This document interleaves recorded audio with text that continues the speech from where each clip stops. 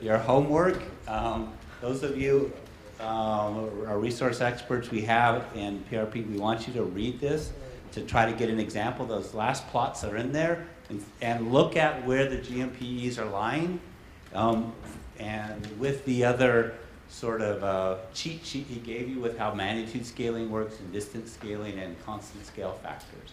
So really this is a, just a different way for us to see if we're missing part of the models or we're properly spanning the space and sampling the, the sets of credible models.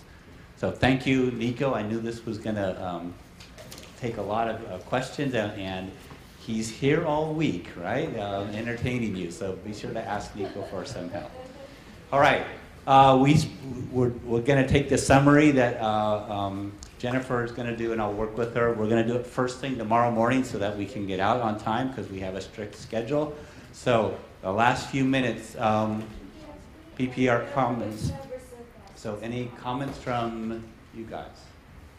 Steve? Tom, are you ready for your test tomorrow on this? Ken, anything? Okay. Nothing from you, Brian, either? Okay, so they're okay. So any other comments from anyone in the back? Other than uh, you'd rather see something besides ducks up there, but uh, I think it's a really helpful exercise to start to see really what's going on. Any comments? None? Such a quiet crowd. Sponsors? No?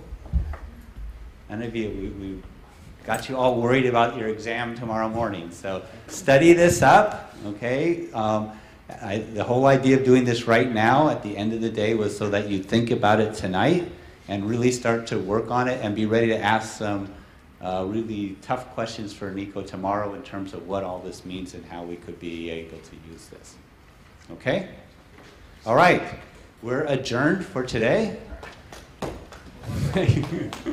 so the PPRP will stay here you can have your caucus inside, and the public Q&A session for the science for the Diablo Canyon will be host, hosted at the uh, foyer, which is right behind.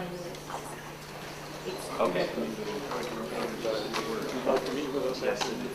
Yeah, if you have some, just tell us what's going on. Or, okay.